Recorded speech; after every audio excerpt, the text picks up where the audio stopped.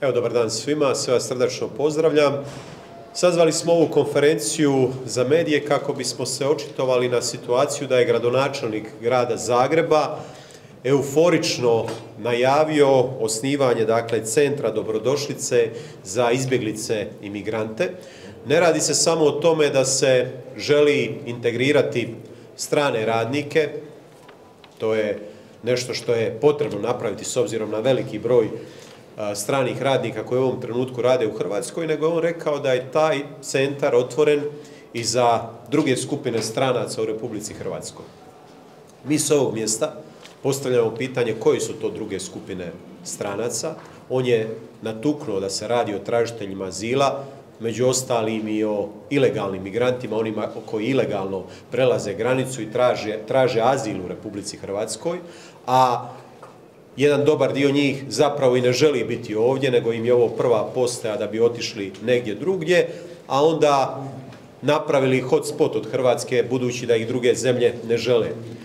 Važno je u kojem kontekstu se događa ovo, ovo otvaranje centra, dakle za centra dobrodošlice za migrante i strance u Republici Hrvatskoj u trenutku dok cjelokupna Europa postaje utvrda, dok Njemačka dakle vraća kontrole na svoje granice, dok, dok Švedska daje 30 tisuća eura dakle strancima da napuste Švedsku budući da ih ne može integrirati u švedsko društvo, imamo situaciju da se iz Hrvatske, iz glavnog grada Hrvatske šalje poruka dođite ovdje, ovdje ste dobrodošli.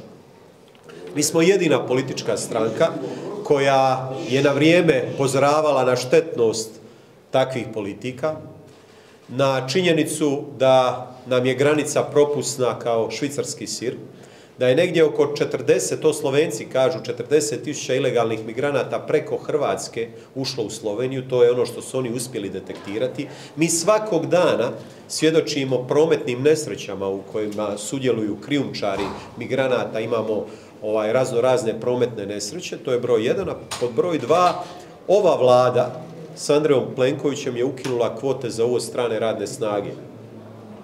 Uvoze se ljudi bez ikakvih kontrola, restoranima se odobrava i po 50 ljudi dakle, koje mogu uvesti i onda se s tim ljudima valjda trguje po Hrvatskoj. To je jedna katastrofalna situacija. Nama je prioritet sigurnost hrvatskih građana i nastavit ćemo na, na ovaj problem upozoravati. E, praktički nitko relevantan u politici osim nas o ovom problemu ne govori. Evo vidio sam da je neki dan valjda prigodno u kampanji. Zoran Milanović se osvrnuo kao predsjednik, dakle nakon pet godina šutnje o problemu strane radne snage u Hrvatskoj za potrebe kampanje. Andrej Plenković nastavi, nastavlja provoditi istu politiku. Agencije za uvoz strane radne snage imaju njegovi HDZ-ovci, sjetimo se Katića, dakle državnog tajnika u MUP-u, njegov sin ima agenciju za uvoz strane radne snage.